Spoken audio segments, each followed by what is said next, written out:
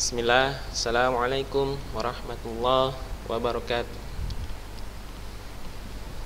Alhamdulillah, segala puji bagi Allah subhanahu wa ta'ala Yang telah memberikan kita nikmat Sehingga kita dapat mengikuti proses pembelajaran jaring, daring pada pagi hari ini Dengan mata pelajaran bahasa Inggris bersama Ustadz Fandi di kelas 7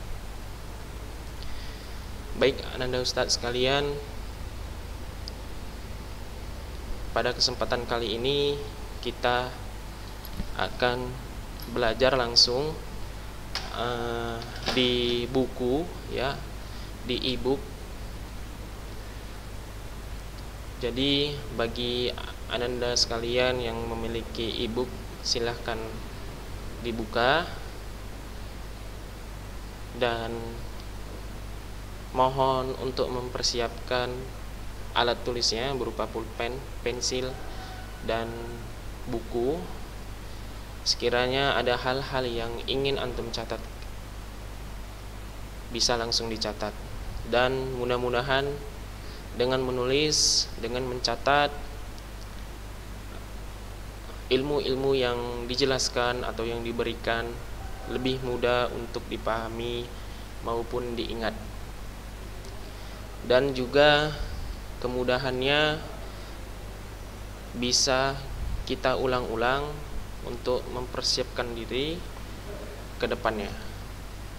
Oke baik. Uh, pada pada pagi hari ini kita masuk ke chapter 2 ya chapter 2 This is about this is me. Yeah we will learn to share and inquire about each other including yeah, our identities our hobbies and what we like the members of our family.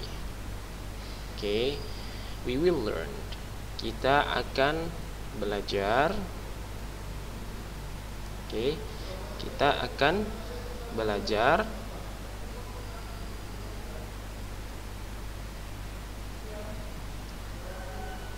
untuk membagi share itu membagi ya. Kita akan belajar untuk membagi dan menanyakan tentang yang lainnya.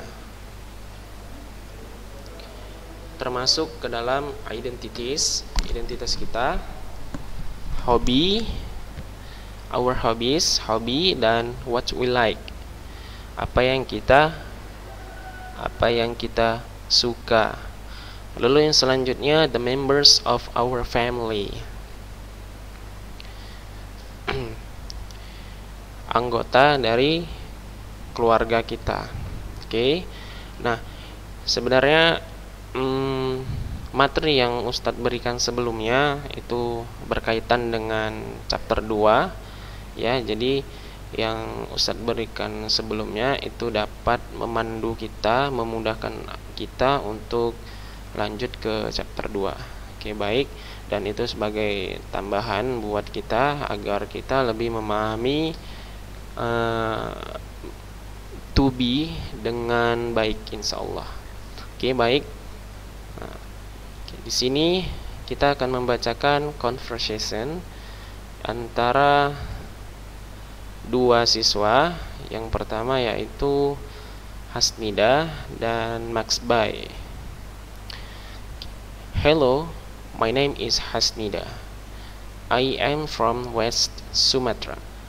I live in Padang in Kampung Mutiara on Jalan Kemangi. To be precise, I lived at 23 Jalan Kemangi. Okay. Good morning. My name is Max Bay. I'm from East Nusa Tenggara. I live in Kupang, in Kecamatan Angkasa, on Jalan Denpasar. Precisely, I live at 5 Jalan Denpasar. Oke, okay, kita coba artikan. Hello, my name is Hanida, Hasnida. Hello, nama saya adalah Hasnida. Kenapa dia pakai is? Kenapa dia pakai is? Ya uh, sesuai dengan yang kita pelajari sebelumnya, is itu digunakan uh, ketika subjeknya tunggal, orang ketika tunggal yaitu he, she, it. Ya, my name termasuk ya, my name termasuk it ya. Oleh karena itu dia menggunakan is. My name is Hasnida dan dan ingat to be itu hanya digunakan uh, untuk menyuguhkan informasi yang mana yang setelah to be tidak terdapat kata kerja atau kita sebut non verb. Oke. Okay. Jadi hasnida itu berupa non verb. Oke, kita lanjut. I am from West Sumatra. Saya berasal dari Sumatera Barat. I live in Padang in Kampung Mutiara. Saya tinggal di Padang di Kampung Mutiara. On Jalan Kemangi. Di Jalan Kemangi. Oke, okay, to be precise, I lived at 23 Jalan Kemangi. Untuk lebih tepatnya, untuk tepatnya saya tinggal di nomor 23 Jalan Jalan Kemangi. Oke. Lalu kita lanjut ke sebelahnya. Good morning. Selamat pagi. My name is Max Bai. Nama saya adalah Max Bai. I'm from East Nusa Tenggara. Saya berasal dari atau saya dari Nusa Tenggara Timur. Ya, Nusa Tenggara Timur. Nah, di sini ada perbedaan Anda. Di sini ada I lalu koma atas lalu M. Nah, ini merupakan singkatan dari singkatan dari apa? Ya, singkatan dari IM. Oke, itu merupakan singkatan dari AM. Oke, boleh disingkat. Lalu kita lanjut. I live in Kupang. In Kecamatan Angkasa. On Jalan dan Pasar. Saya tinggal di di Kupang di Kecamatan Angkasa di Jalan dan Pasar. Precisely, I live at five Jalan dan Pasar. Ya, dengan tepatnya ya. Tepatnya saya tinggal di nomor 5 Jalan Denpasar. Oke baik. Ya hmm, di sini ada beberapa penggunaan to be ya. Penggunaan to be yang harus kita perhatikan sesuai dengan kaidah-kaidah yang telah kita sebutkan di rekaman sebelumnya. Oke baik. Nah, lalu yang kedua di sini ada Tito dan Haira. Hi my name is Tito Pesolima I'm from Seram Island. I live in Kampung Medan, RT4, LW, eh, RT4, RW7 on Jalan Teratai. Precisely, I lived at 23 Jalan Teratai. Hi, my name is Tito Pesolima. I'm from I am from Seram Island. Saya berasal dari Pulau Seram. Iya, Pulau Se, Pulau Seram. Nah, ini yang Anda bacanya island ya s-nya s-nya tidak di disebut oke okay. I live in Kampung Medan RT4 saya tinggal di Kampung Medan RT4 RW 7 RW 7 on Jalan Teratai di Jalan Teratai precisely I lived at 23 Jalan Teratai lebih tepatnya tepatnya saya tinggal di nomor 23 Jalan Teratai. Oke, selanjutnya Hello, my name is Haira. I am from Central Kalimantan. I lived in Palangkaraya, in Kecamatan Rangutan, RT3, RW4, on Jalan Melimbing. To be precise, I live at 15 Jalan Melimbing. Okay, hello, hi, uh, hello, my name is Haira. Nama saya Haira. I am from Central Kalimantan. Saya berasal dari Kalimantan Tengah. I live in Palangkaraya. In Kecamatan Rangutan. RT 3 RW 4 di Jalan Belimbing. Okay. To be precise, I lived at 15 Jalan Belimbing. Untuk lebih tepatnya, saya tinggal di nomor 15 Jalan Belimbing atau Jalan Belimbing nomor 15.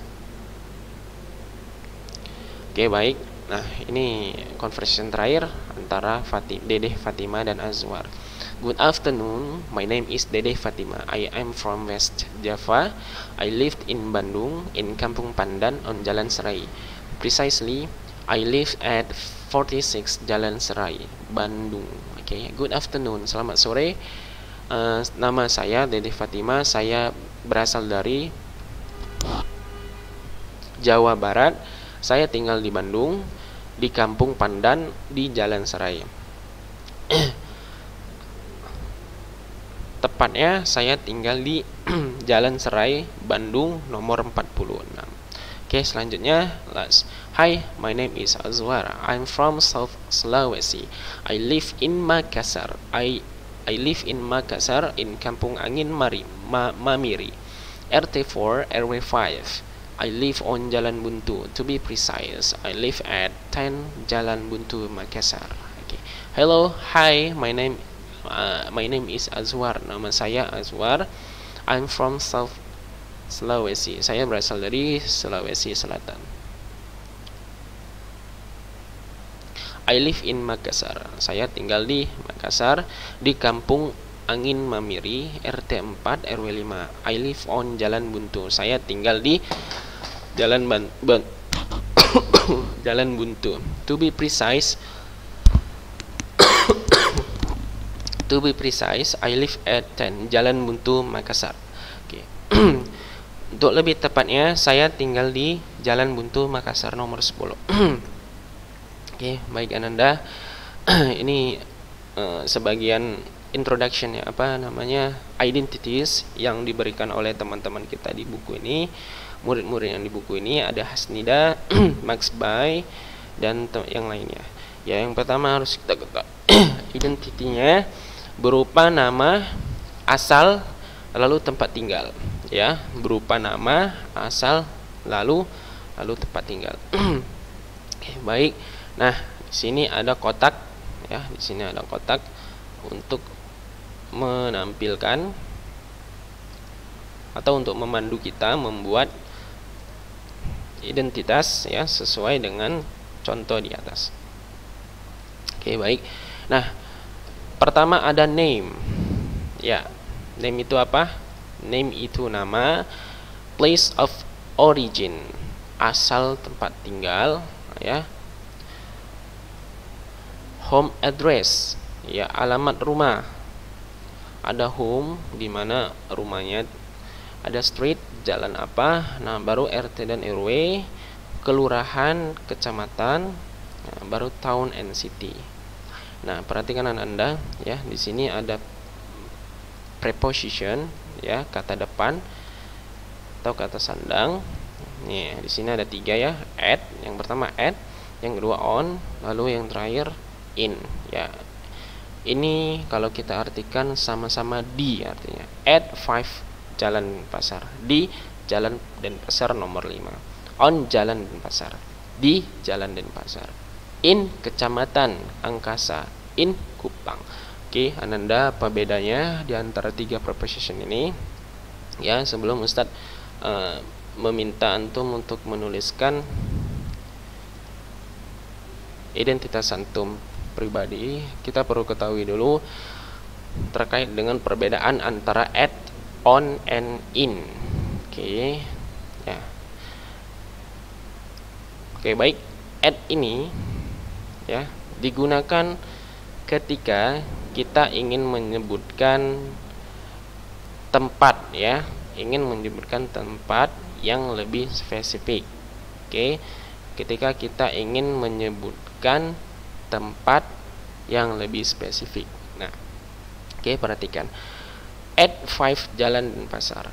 Jalan Denpasar ini kalau kita telusuri ya pasti luas. Oke, Jalan Denpasar itu pasti luas dan biasanya terdapat nomor ya dan terdapat nomor. Nah, kebetulan kita tinggal di nomor 5 Oke, dan kita ingin menyebutkan bahwasanya kita tinggal di Jalan Denpasar nomor 5. Oke, spesifik, lebih khusus dia, lebih khusus lagi ya, lebih spesifik.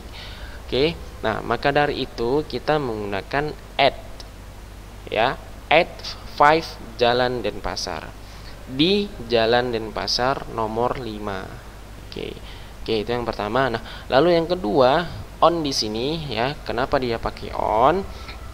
Nah on itu biasanya kita di kita gunakan pada saat kita ingin menyebutkan atau menuliskan uh, tempat ya yang biasanya uh, digunakan untuk menyebutkan permukaan ya misalnya on the table on the chair on the roof ya dan yang lainnya.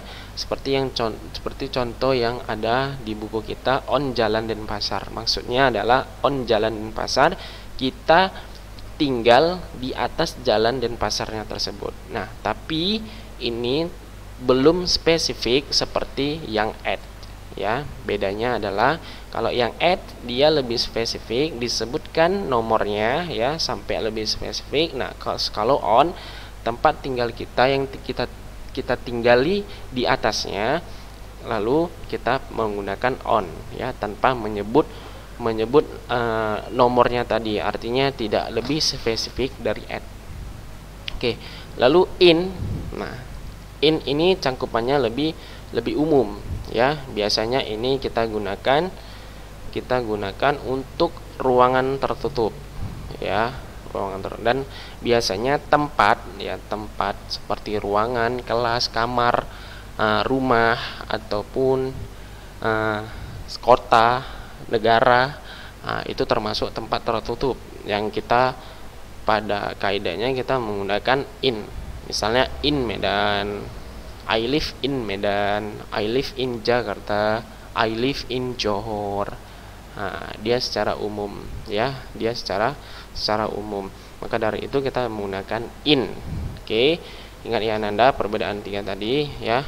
Sebelum Ustadz meminta antum untuk mengerjakan identity antum ya dan menuliskannya di buku catatan ya. Jadi jadi uh, tugas hari ini oke. Nah tugas hari ini uh, tolong antum menuliskan ya menuliskan identity antum ya berikut dengan nama name place of origin home address ya termasuk di sini alamat rumahnya jalannya RT RW-nya kalau ada kelurahannya kecamatannya ataupun kota atau ataupun kotanya oke. Nah misalnya kayak Ustadz ya. Uh, name Fandi Ahmad Syahputra place of origin North Sumatera oke North Sumatera Sumatera Utara ya. Home address home at Jalan Kebon Kopi nomor 7 ya berarti at 7 Jalan Kebon Kopi. Oke. Street on Jalan Kebon Kebon Kopi RT RW tidak ada kelurahan tidak ada berarti kecamatan in Patumbak oke kecamatan Patumbak nah town city-nya town city-nya bisa kita sebut kalau dia di kota Medan. Oke. Kalau dia di kota Medan. Nah, kalau dia di kabupaten dia in Deli Serdang. Oke. Nah, kalau dia di kota berarti in Medan. Kalau di kabupaten in Deli Serdang. Ya. Oke, baik. Nah, tugas ini cukup antum tuliskan saja di buku di buku catatan ya di buku catatan ya eh, sebenarnya ini bukan tugas latihan ya bukan bukan tugas latihan tetapi ini hanya untuk catatan saja karena eh, apa namanya kita akan membuat latihannya di akhir chapter 2 atau akhir bulan nanti insya Allah bulan 9 ya nanti baru kita membuat latihannya dan dikumpulkan tapi hari ini Cukup menuliskannya di buku catatan sebagai pertinggal antum. Oke, baik Anda. Nah, ya.